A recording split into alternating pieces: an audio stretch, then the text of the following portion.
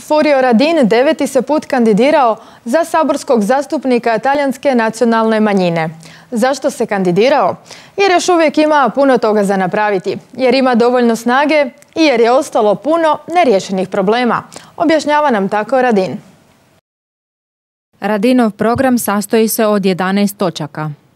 Ono što bih htio istaknuti su dva naša e, segmenta koji su, kako da kažem, osjetljiva. I to su segmenti e, zrelih, jel da? E, over 65 i e, mladih.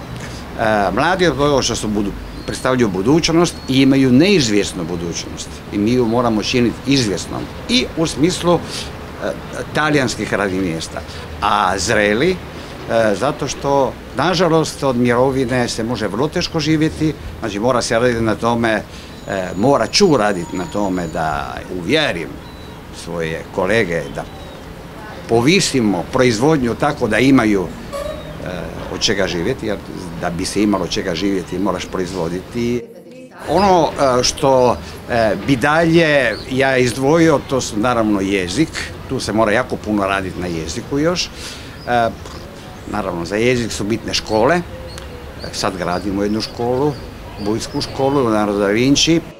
Program je zapravo počiva na ono osnovno, e, na dignitet i na e, poštivanje digniteta. Što znači poštivanje digniteta? Ovaj grad ovdje koji vidite iza, ova, ova regija, susjedna regija, zapravo su mjesta gdje Italijani žive u pandivijeka, kažem autohtoni su.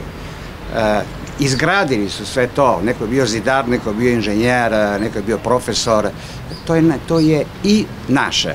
Znači, mi smo ovdje e, doma i zato trebamo biti poštivani. E, da bi bili poštivanje moramo i poštovati. To znači drugim riječima da tu mora postojati solidarnost među multikulturna, da tako kažem, e, solidarnost.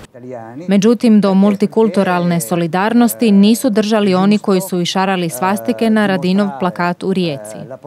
Mogu bi e, komentirati na način da je to jedna velika sramota, što je. Da je to ksenofobija, što je, ali ću reći puno kraće, to su idioti.